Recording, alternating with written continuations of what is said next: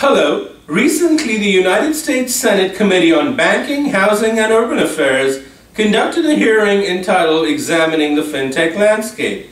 They covered a variety of topics such as jobs, credit scores, the underbanked and unbanked populations. Here is an excerpt on credit scores. Thank you. Senator Cortez Masto. Thank you, Mr. Chair. And thank you, gentlemen. This is an important discussion we're having, so appreciate uh, your comments um, today. Uh, Mr. Pasquale, let me let me start with you because uh, Chairman Crapo had asked you, all of you, what the risks are. And one of the things that you talked about was the opaque algorithms to assess credit. Um, and that was one of my questions. Can you elaborate on that a little bit, please? Sure. So one of the big problems in the U.S. Uh, credit industry is that there are lots of people who either have no file or a thin file, and so they are very hard to for a bank to extend credit to because it, it's seen as them not having adequate. We don't have adequate background information on them. And so the answer from a, a lot of fintech firms is to say, well, why don't we look at other sources of data?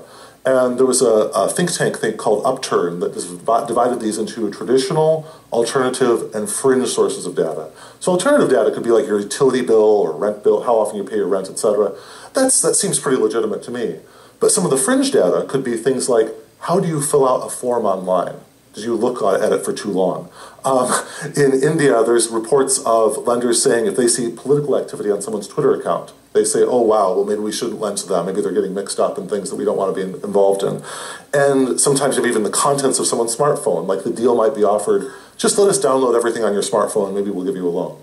And I think that this sort of, uh, these sort of business models could lead to what I call big data proxies. So the problem is that they, the companies involved may not necessarily be looking to intentionally discriminate against individuals, but as we know from ECOA, that's not the touchstone of liability there the really key issue is could you use that sort of data like locational, other aspects of data to discriminate against people? And a final version of this could be that, for example, you might have very sophisticated algorithms that could, from someone's face, say, tell their age or tell different medical conditions from them. Um, this sort of face recognition software is already being used, say, to infer criminality from faces. so these, the, the level of advances in AI means that there's so many different data sources, and the opacity of these is really a challenge to fair lending. And thank you. And I, I know you've read, uh, uh, written extensively on data brokers, and I think that's important. I think it's important um, for all of us to understand there is so much data out there, and the concern when we when it comes to credit or how we determine somebody's credit worthiness, if we're going to take all of that data into consideration, might at times create some sort of bias un- unintentionally because of the data we're collecting.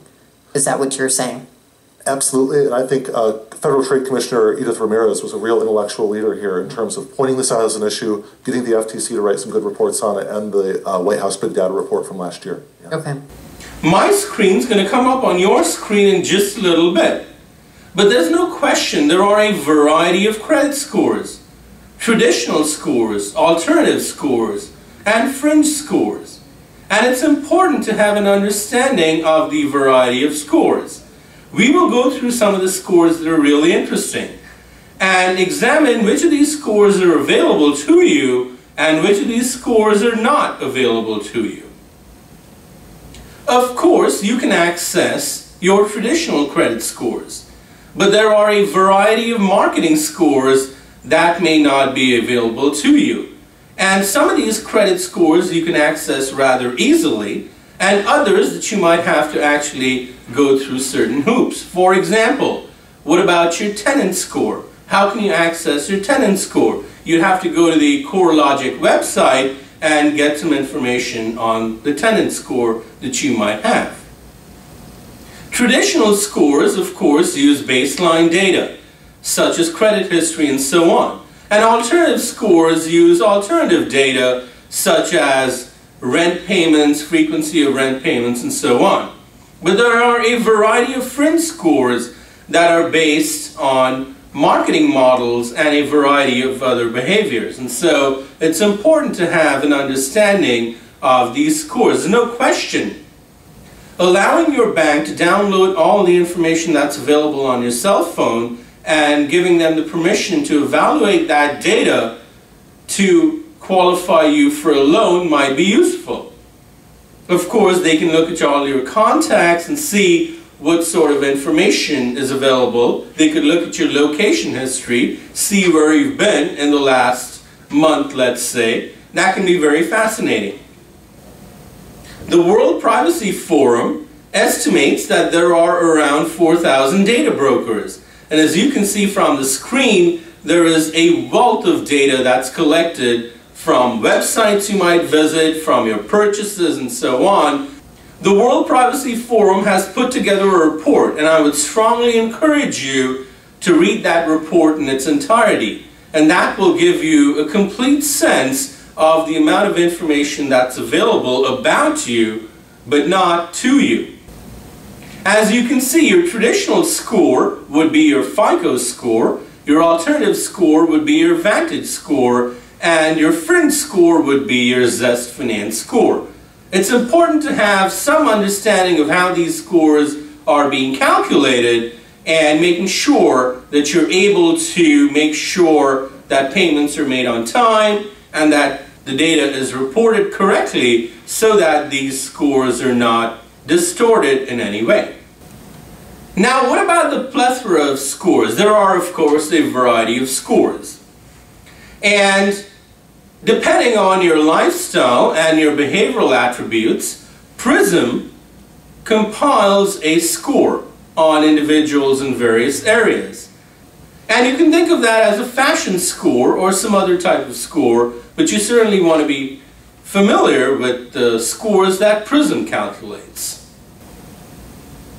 As to the plethora of consumer scores, let's start with your FICO score. Your FICO score is obviously available to you and you can get an annual credit report and get your score, but you can also get an auto insurance score.